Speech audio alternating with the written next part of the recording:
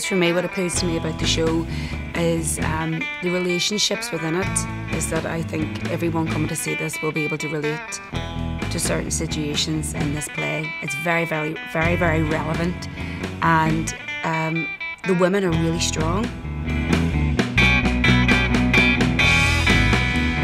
What appeals to me and what I think will appeal to other people about the show is, you know, it is it is very funny. There's no doubt about it. There are very very funny moments in this, but and but for me and kind of like the season that's running at Lyric, it's, it's the identity question for me. You know, how far we moved on as a society and, um, and where I see myself in that society as somebody who's proud to be from Belfast.